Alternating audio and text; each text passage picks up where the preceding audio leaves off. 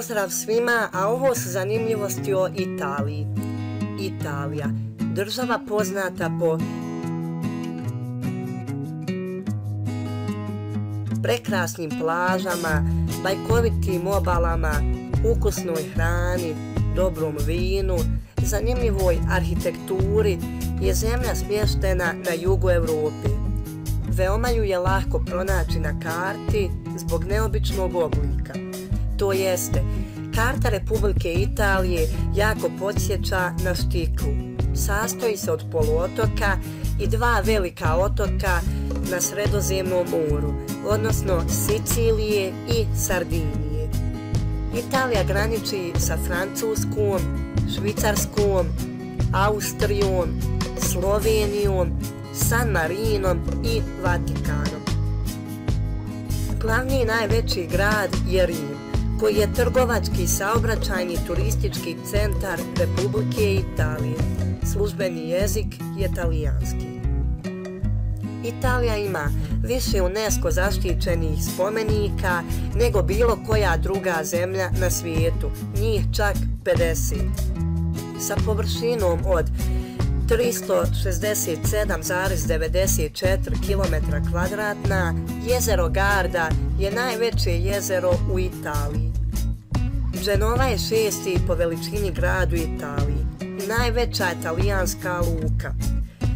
Smještena je na sjeverozapadu Italije, to jeste u regionu Ligurija, ponosno nosi nasljeđe Mletačke republike, jedne od najmoćnijih sredovjekovnih svjetskih sila, pod zastavom svetog Đorđa, koja joj je i danas zaštitni znak. Italija peta najposjećenija država na svijetu i treća najposjećenija u Europi sa brojem turista od 52,4 milijuna. Italijanska mafija zaslužena je za 7% BDP-a Italije. Prirodna ljepota Glečarskog jezera Como, plavetnilo njegove vode u kojoj se ogledaju vrhovi Alpa, okovani vječnim snijegom i luksuzne vile okružene prelijepim vrtovima koje su se kao niska perli prosule po njegovim obalama. Zaista nikoga ne ostavlja ravnodušno. Pizza je hrana koja je najviše objavljivana na Instagramu na svijetu. Rim je jedan od najljepših gradova svijeta, a njegova prošlost vjerovatno je najbogatija i najburnija od svih. Svi znamo priču o Romulu i Remu i o tome kako je nastao ovaj grad na sedam brežuljaka. No, jeste li znali da u Rimu postoji više od 900 crkava, da je rimska prvostolnica crkva svetog Ivana Lateranskog, a ne crkva svetog Petra. Da li znate da Rim nazivaju vječnim gradom zato što je od svog osnivanja uvijek bio glavni grad? Mnogi od najvećih svjetskih brendova dolaze iz Italije, kao što su Nutella, Ferrari, Versace, Bulgari. Imena su za koje je čuo čitav svijet, ali italijani imaju još mnogo poznatih brendova. Manarola je malo i predivno mjesto u srcu Italije. Jedno je od najslikovitijih mjesta na svijetu i svake godine privlači i do nekoliko stotina hiljada posjetitelja. Osim što ljudi dolaze da se dive predivnim malim kućicama, ovo mjesto ima i plažu, kao i veliki broj apartmana, hotela i kafića, koji mogu zabaviti putnike i uljepšati vam više od samo jednog dana, koliko u prosjeku posjetitelji borave ovdje. Zamislite, savršeno i malo mjesto koje ima predivne kućice okrenute leđima prema brdima s kojih izgleda kao da visi. Kada je imao deset godina, Mussolini je bio izbačen iz škole zato što je nožem posjekao drugog dječaka sa kojim je išao u razred. Galileov srednji prst nalazi se kao eksponat u muzeju u Firenci. Napulje grad u kojem je nastala prva pizza na svijetu. Talijanska trobojka nastala je po uzoru na zastavu Francuske. Tokom dugo godina zastava Italije se mijenjala, a današnje tri boje predstavljaju nadu, vjeru i milosrđe. Ima jedan slavni grad koji stoji na sred mora. More je na njegovim širokim i uskim ulicama u vrijeme oseke i u vrijeme plime, a morske trave hvataju se za zidove njegovih mramornih ploča. Samuel Rogers, engleski pjesnik 1822. godine. Taj slavni grad je Venecija. Ona je u prošlosti bila prijestolnica moćne Mletačke republike, koja je stoljećima vladala mnogim kolonijama te imala prevlast na moru. U Italiji postoji ostrvo Poveglija, za koje se vjeruje da je ukleto, te je svaki pristup ostrvu strogo zabranjen.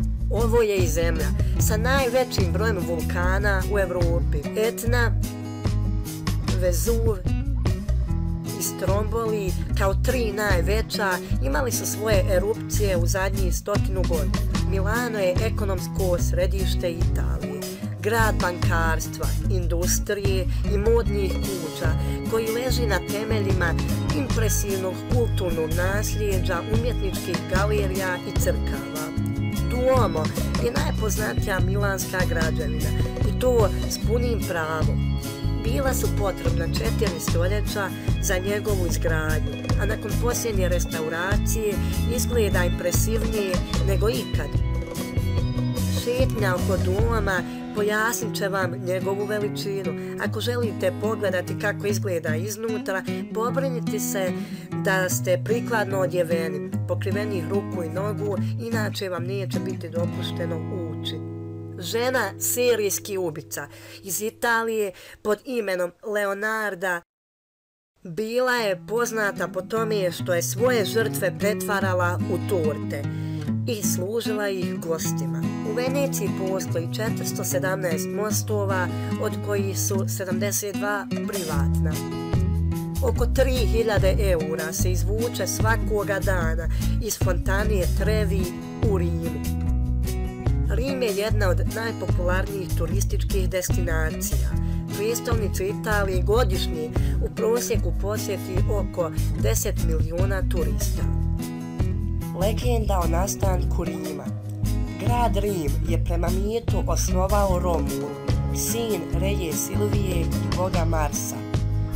Prema legendi, svrgnuši s prijestolja brata Numitora, Amulije je postao kralj grada Albe Longi, a da bi izbjegao rođenje nasljednika koji bi prijestolje mogli tražiti natrag, prisilio je nečakinju Reju Silviju da postane vestalska djevica. No, ona se sjedini s bogom Marsom i rodi dva blizanca, Romula i Reba, koje je Amulije odmah po rođenju bacio u rijeku Tiber. Blizance je u podnožju Palatina, jednog od sedam brežuljaka, pronašla jedna vučica, koja ih je dojila vlastitim mlijekom. Blizance je potom našao pastir Faustul, te ih je uzeo i odhranio. Kada su odrasli, odlučili su na brežuljku Palatinu osnovati grad. Ubrzo su se počeli svađati koji će od njih dvojice vladati gradom, te je Romul u toj svađi ubio brata. Po predaji, grad je osnovan 21. aprila 753. godine prije Krista. Nazvan po svom prvom kralju Romulu.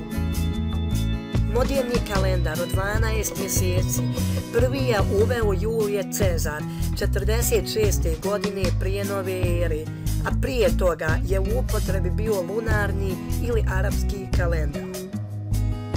Firenca, renesansni dragulj u srcu Italije, najpoznatija po svojoj čuvenoj katedrali, njenoj kupoli te plemičkoj porodici Medici. No, Malo ljudi zna da je ta ista katedrala među deset najduljih crkava u Europi, da je Firenca još sredinom 14. vijeka postala prvi grad na svijetu s popločanim ulicama, te da je neko vrijeme bila i prijestolnica kraljevne Italije. Italija i Južna Afrika su jedine države na svijetu na čijem se teritoriju nalaze dvije države, Lesotho i Swaziland, su u Južnoj Africi, dok su Vatikan, koji je središte katoličke crkve, i San Marino, koji je najstarija republika na svijetu, nalaze na teritoriji Italije. Amalfi je grad i općina od 5000 stanovnika u talijanskoj provinciji Salerno u regiji Campania. Amalfi je nadbiskupski grad na jugozapadu Italije, na uskom pojasu zemlje uz Salernski zaljev, jugoistočno od Napulja. Amalfi je poznat kao centar Amalfijske obale koja je 1997. godine uvrštena na UNESCO-vu listu mjesta svjetske baštine u Europi kao mjesto neobične prirodne ljepote i skladne urbanizacije koja je započela još u srednjem vijeku. Gradom dominira katedrala St. Andrea, čija je izgradnja počela u 9. vijeku i koja je često obnavljena. Ona ima veličanstvena brončana vrata, izvedena u Konstantinopolju oko 1065. i zvonik podignut između 1180. i 1276. godine. U njenom sklopu je i Klaustar iz 1266. do 1268. godine pored katedrali ističe se i nekadašnji kapucinski samostan osnovan 1212. godine koji se stere visoko na litici iznad mora, on je danas pretvoren u hotel.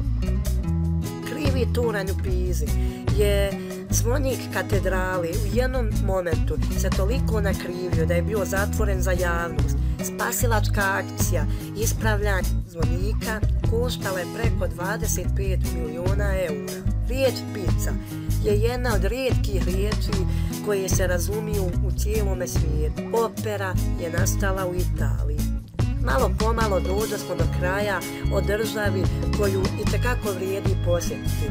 Nadam se da ste uživali, ako jeste, lajkujte video, šerujte, da komentarišite i pretplatite se na moj kanal. Lijep pozdrav, čao!